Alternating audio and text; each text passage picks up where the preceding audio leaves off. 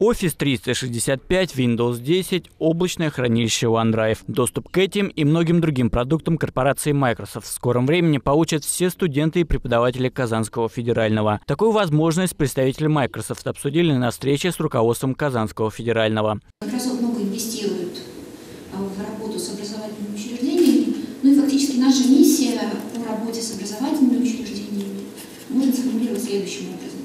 С помощью наших технологий мы предоставляем каждому студенту, каждому обучающемуся, каждому образовательному учреждению на планете достичь большего. Ну, некий пафос, но тем не менее это действительно так. Затронули на встрече и векторы развития сотрудничества сторон. Казанский федеральный корпорация Microsoft знакома еще с далекого 2008 года. Тогда в университете был создан Центр инноваций Microsoft. Но хотелось бы на самом деле более глубокого сотрудничества. Дело в том, что Казанский университет это один из первых, где был открыт Центр инноваций Microsoft. Мы с Microsoft мы очень давно уже работаем. А, и даже доходили до протокола о совместных исследованиях, но, к сожалению, дальше протокол почему-то вот не сдвинулся. То есть, стороны Microsoft задачи так и не пришли, хотя мы были готовы их решать. Это было где-то 2-3 года назад. Вот, мы все так же готовы решать ваши проблемы, а не только вы наши.